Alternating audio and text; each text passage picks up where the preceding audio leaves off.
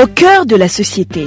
Au cœur de la société est une émission préparée en synergie par les radios Inzamba Agateka Kawe, Radio RPA Ijuya Wanyagihugu, ainsi que la radio-télévision Renaissance.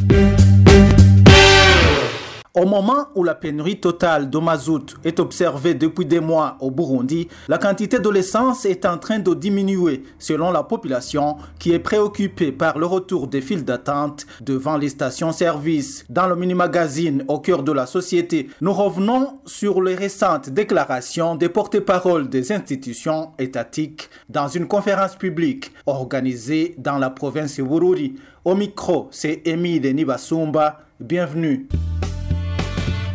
Dans la conférence publique des porte-paroles des institutions tenue ce vendredi au chef-lieu de la province Bururi, le porte-parole du ministère de l'énergie et des mines, Innocent Girukushaka, a expliqué que le mazout n'est pas jusqu'à présent disponible au Burundi parce que la demande des différents clients était très élevée sur le marché en Tanzanie. Concernant le carburant de type mazout, vous savez que nous partageons le marché avec d'autres acteurs. Si pour l'essence, l'approvisionnement a été rapide, nous sommes en train d'appliquer la même approche pour le mazout en attendant l'arrivée du bateau qui le transporte. En attendant, nous poursuivons nos efforts en nous approvisionnant en petite quantité sur le marché de Dar es Salaam afin de débloquer la situation. Nous gardons donc espoir car la méthode utilisée pour résoudre la pénurie d'essence est la même que nous appliquons pour le mazout. Espérons d'ici quelques jours que cette pénurie sera résolue.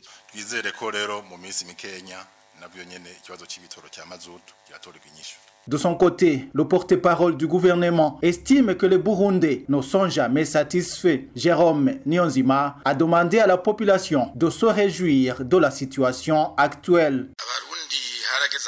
Les Burundais semblent faire preuve d'ingratitude face aux progrès déjà réalisés. Je pense que si chaque Burundais prenait le temps d'analyser les efforts fournis jusqu'à présent, en les comparant à la situation d'il y a deux ou trois mois, il pourrait en tirer une certaine satisfaction et comprendre que les progrès accomplis sont significatifs. Si vous regardez, par exemple, la manière dont, il y a peu de temps, même les enfants avaient du mal à se rendre à l'école à cause du manque de transport, nous devrions nous réjouir des améliorations car ce n'était pas le cas auparavant. Nous devons apprendre à reconnaître les efforts accomplis et garder espoir que demain sera meilleur.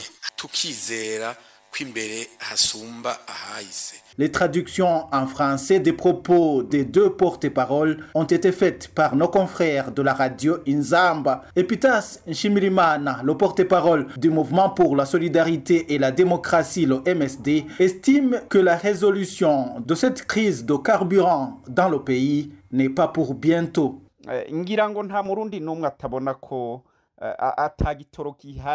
Gitoro Personne ne pourrait prétendre qu'il ne voit pas qu'il n'y a pas assez de carburant au Burundi. D'ailleurs, selon des informations à notre disposition, les Burundais ne peuvent espérer le carburant suffisant dans le pays. Vous voyez qu'ils importent le carburant au compte-gouttes, le carburant pour une semaine, pour deux semaines.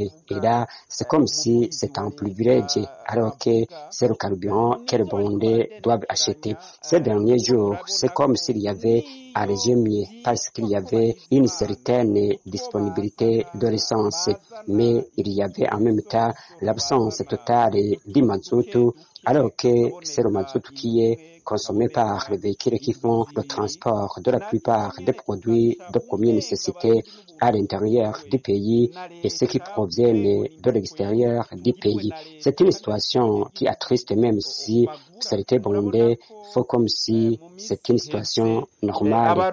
tubifata ibisanzwe Epitas Nshimirimana estime aussi que le porte-parole du gouvernement se moque des Burundais.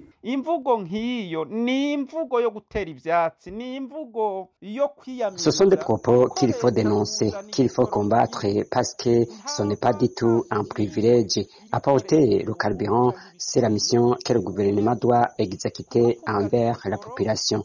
Le gouvernement est mis en place par la population pour qu'il fasse justement tout son possible pour satisfaire les besoins de cette population. Les propos comme ceux du porte-parole du du gouvernement Jérôme Niyonzima montre que les Burundais ont des dirigeants qui ne savent pas pourquoi ils sont là. C'est triste de voir un gouvernement qui pense qu'il nous accorde un privilège en important le carburant que nous allons acheter avec notre argent et qui est importé grâce à nos impôts et aux différentes contributions. Le pays est dans une situation catastrophique. C'est pourquoi nous pensons qu'il est temps, s'il n'est pas trop tard, de nous réveiller pour lutter, pour obtenir un gouvernement capable de satisfaire les besoins de la population, un gouvernement qui connaît sa mission, y compris la résolution de cette crise interminable de carburant dans le pays. Au Burundi, les pénuries répétitives de carburant se sont observées depuis l'année 2020. Et voilà, c'est par ici que nous mettons un point final au mini-magazine au cœur de la société d'aujourd'hui. Merci de nous avoir suivis à la présentation. C'était Émile Nibasumba. Au revoir. C'était l'émission Au cœur de la société.